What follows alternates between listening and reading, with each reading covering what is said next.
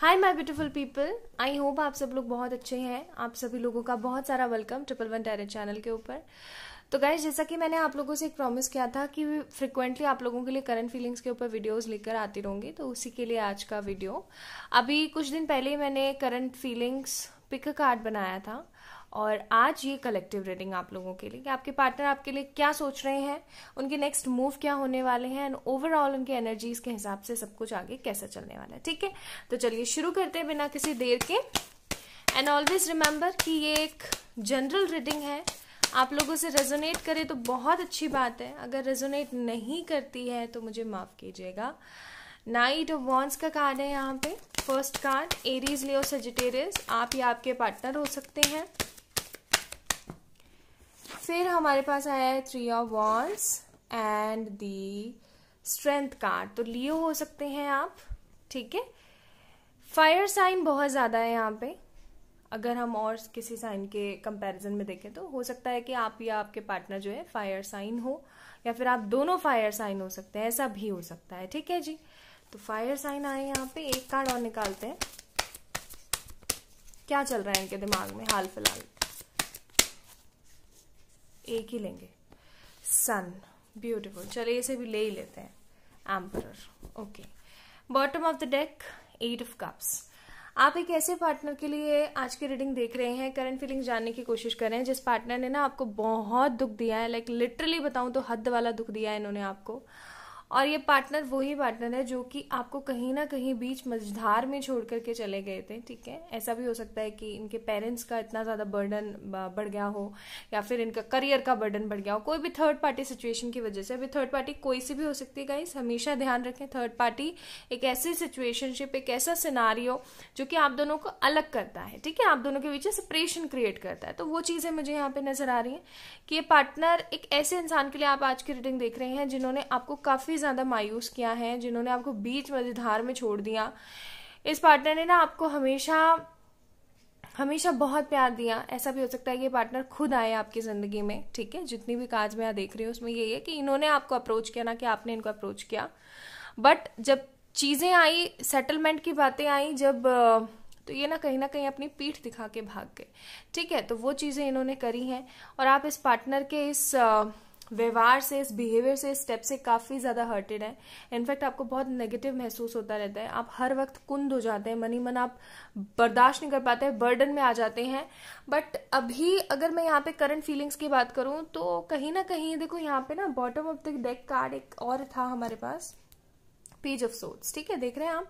Page of सोच का card है यहाँ पे तो हो सकता है आप या फिर आपके पार्टनर ना, आप एक दूसरे को स्टॉक करने की कोशिश कर रहे हो, या तो आप इधर उधर की कोई आईडी बना के इनको स्टॉक कर लेते हो, या फिर ये आपके जो पार्टनर है, वो आपको इधर उधर की कोई आईडी वगैरह बना के, या फिर किसी थर्ड फ्रेंड के थ्रू जो है, आपके बारे में सुन के बात करके ना, अपने आप को थोड़ा अपना मन बहला लेते हैं कि हाँ भाई, ठीक है ठीक है। यानी कि at least this person is good और सबसे बड़ी बात कि इनकी हेल्थ वगैरह सब कुछ सही है। मतलब ये सारी चीज़ें ये कहीं ना कहीं सोच लेते हैं।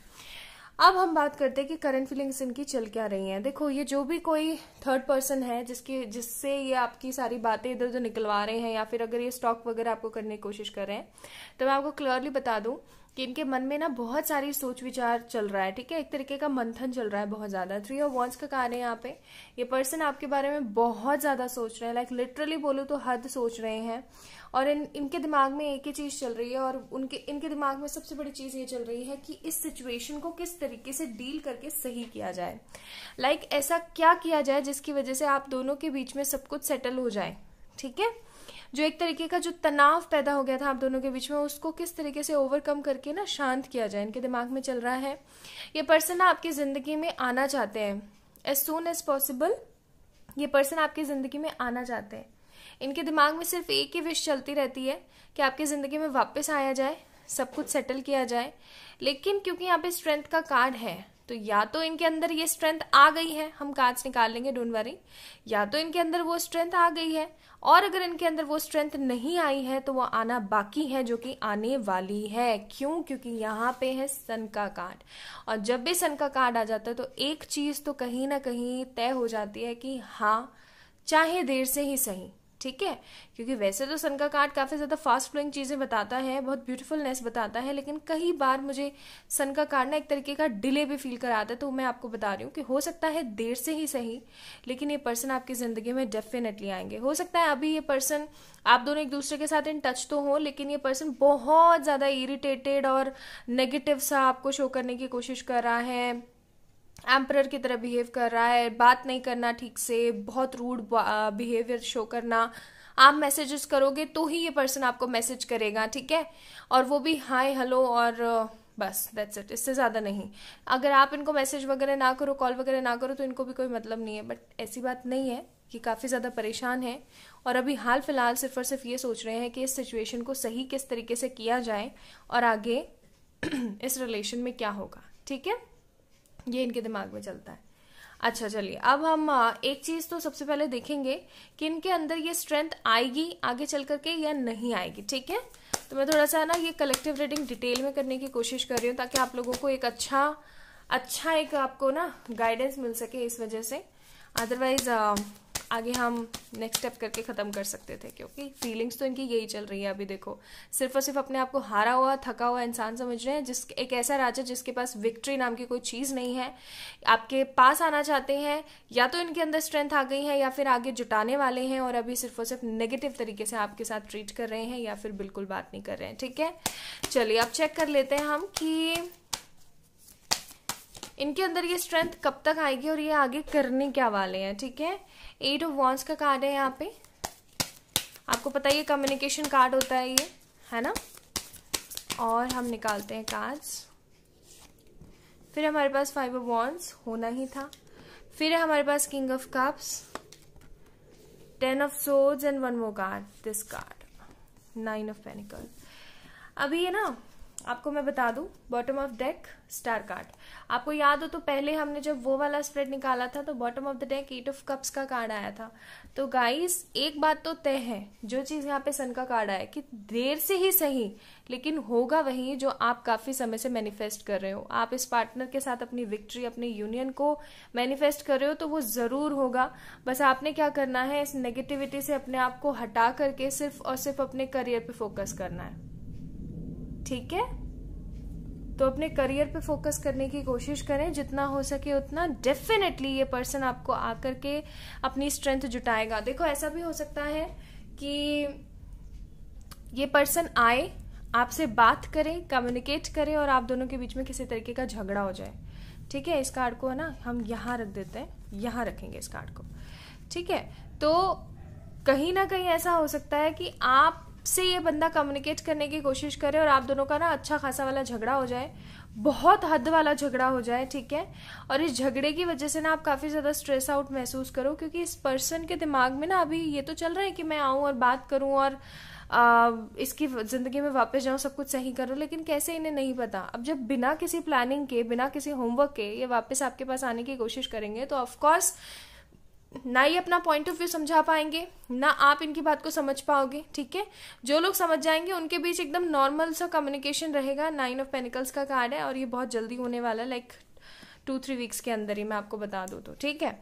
और अगर आप लोग इस चीज़ को ठीक से डील नहीं कर पाते तो लड़ाई झगड़ा होगा अच्छा खासा। आप अपने आप को सही साबित करोगे, वो अपने आप को सही साबित करेंगे और नेगेटिविटी बढ़ेगी, ठीक है? ये पर्सन ढेर सारी फीलिंग्स तो लेकर आएगा ही, लेकिन साथ में किसी तरीके का झगड़ा भी लेके आएगा। सो नेक्स्ट स्टेप इनका ये होने वाला है, ठीक है?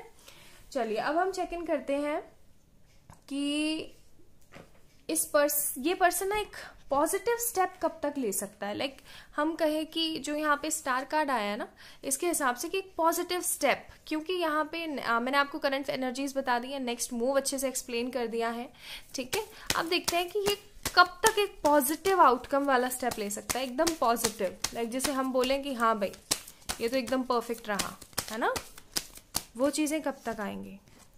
नाइट ऑफ़ कप्स समय लगेगा। देखो नाइट ऑफ़ कप्स का आज हमेशा ये बताने की कोशिश करता है कि पर्सन कोशिश कर रहा है, लेकिन समय ज़रूर लगाएगा। चाहता है मन में ऐसा हो, लेकिन अपनी परेशानियों में सी bottom of the deck nine of swords अपनी परेशानियों में इतना इतना घिरा हुआ है ना अंदर तक कि बस थोड़ा सा परेशान है और उसकी ज़िंदगी से जैसे ही दुख और ये एक तरीके का फ्रस्ट्रेशन ख़त्म होगा डेफिनेटली वो इन सब चीज़ों से निकल के बाहर आपके पास आएगा। तो एक पॉजिटिव आउटकम एक पॉजिटिव स्टेप लेने में तो इस पर्सन को समय लगेगा अभी क्लियरली बता दूँ तो मैं आपको। लेकिन हाँ आप इस चीज़ की एक्सपेक्टेशन कर सकते हो कि next two to three weeks ज़्यादा से ज़्यादा लाइक बहुत ज़्यादा टू टू थ्री वीक्स के अंदर अंदर मैं समय में बता रही हूँ। आप लोगों को ये पर्सन कॉल मैसेज करेंगे या तो लड़ाई करेंगे, या फिर आप चुप हो जाओगे और ये अपना सब कुछ एक्सप्रेस करके वापस से मौन मुख होके बैठ जाएँगे, ठीक है? ये होने वाला है नेक्स्ट अच्छा अब इनके तरफ़ से कुछ हम मैसेजेस देख लेते हैं। चलिए, कुछ मैसेजेस देखते हैं कि ये आपके बिना कैसा महसूस कर रहे हैं। अच्छा तो बिल्कुल भी नहीं कर रहे हैं, ये बात तो कन्फर्म ही है। स्टिल हम देख लेते हैं। You look deep into my eyes तो इनको कहीं ना कहीं अच्छे से पता है कि आप ही वो पर्सन हो जो कि इनको अंदर से समझ सकते हो। लाइक like आप ही हो जो इनकी आँखों में आँखें मिला के बात कर सकते हो क्योंकि इनको पता है कि आप में किसी तरीके की कोई कमी नहीं है। You are funny and you read my mind इनको अच्छे से पता है कि आप इनका दिमाग अच्छे से पढ़ सकते हो लाइक like, लिटरली अच्छे से पढ़ सकते हो। ओके okay, एक कार्ड और देखते हैं। You accept and respect my limitation और इनको अच्छे से पता है कि आप इनकी सारी मजबूरियों को अच्छे से समझते हो। चलिए कुछ कार्ड्स और देख लेते हैं। ताकि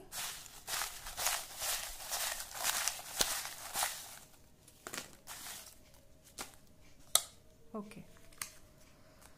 हम्म एक कार्ड और गिर गया था यहाँ पे ये वाला। ठीक है।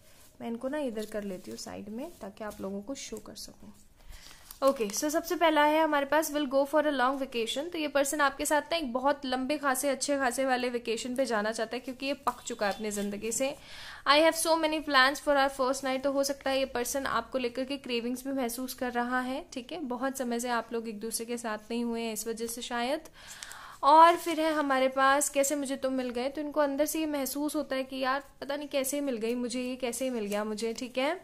I see you as my wife but तो इनके दिमाग में है कि आपको एज ए वाइफ देखते हैं लेकिन, ठीक है? एज ए वाइफ देखते हैं लेकिन लेकिन तो वो बात है ही फिर। सीरियसली आई बैग यू तो ये आपसे माफ़ी मांगने ये आपसे माफ़ी मांगना चाहते हैं? Seriously I beg you okay फिर है हमारे पास I want die so this person want to die seriously like हद ही परेशान है बंदा। Want you your lips so this person wants to you know make beautiful scenarios with you please come तो ये आपकी तरफ़ से उनको मैसेज हो सकता है शायद। फिर है हमारे पास विल यू एक्सेप्ट मी तो इनके दिमाग में ये थॉट भी है कि क्या आप इनको एक्सेप्ट करोगे आगे चल करके या फिर नहीं करोगे? मुझे तुम याद आते हो। तो ये आपको बहुत ज़्यादा मिस करते हैं, बहुत याद करते हैं आपको। फिर है हमारे पास प्योर हार्ट इनोसेंट तो इनको लगता है कि आप बहुत ज़्यादा प्योर हार्टेड और इनोसेंट पर्सन हो। आज भी याद है वो दिन तो इनको आज भी वो याद आते हैं दिन, ठीक है? जब आप लोग एक साथ हुआ करते थे, आप लोग साथ में हुआ करते थे। आई मिस दोज डेज़ या डेफिनेटली ये उन दिनों को काफ़ी ज़्यादा मिस करते हैं। फिर है यहाँ पे जानू मानू। जान जानू। Okay. Then um, we have q. Sad and lonely. So this person is feeling sad and lonely alone. And uh, फिर हमारे पास ऐसा कोई नहीं जैसे तुम हो तो इनको ऐसी फीलिंग आती है कि ऐसा कोई भी नहीं जैसे कि आप हैं इनकी ज़िंदगी में। कैसे मुझे तुम मिल गई? दो बार आया है गाना प्लीज़ ये गाना सुनिएगा आप लोग ठीक है? हो सकता है इसके अंदर आपको कोई मैसेज मिले। फिर हमारे पास विश्वास नहीं होता तुम मेरे हो okay and one more message we have I need you और गाइज़ दो और गिर गए थे। What you like in me and the last card we have Y तो ये इनिशियल्स भी आए आप लोगों के लिए। सो so, ये उनके कुछ मैसेजेस हैं। और मैं तो आपको यही बोलूँगी कि आपने नेगेटिव नहीं होना है मैनिफेस्ट करते रहना है इस पर्सन के लिए because this person really loves you a lot okay so this is all about today's reading I hope you will like it and enjoyed it if yes then please give it give this video a big thumbs up subscribe करिए channel को अगर नए आए हैं तो और अपना अपना ध्यान बहुत ज़्यादा रखें। किसी भी तरीके की पर्सनल पेड रीडिंग सेशंस लेने के लिए आप लोग मुझे मेल करें या फिर इंस्टाग्राम पर मैसेज करें। एंड फेक लोगों से बच के रहें, क्योंकि मैं अपने नंबर सिर्फ़ और सिर्फ़ आपको इंस्टाग्राम के थ्रू या फिर मेल के थ्रू देती हूँ। And always make sure that insta और मेल का सब कुछ, सारा का सारा जो कुछ भी प्रोसीजर्स होते हैं, वो सब डिस्क्रिप्शन में तो वहाँ से चेक इन करें, ठीक है? अपना अपना ध्यान रखिएगा। बहुत सारा प्यार आप सभी लोगों को। Bye bye